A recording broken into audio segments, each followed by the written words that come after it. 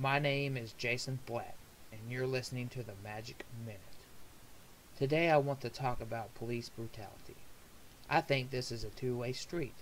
Sure, we have police that misbehave. We've always had that. We have police that think they can get away with anything. We've always had that.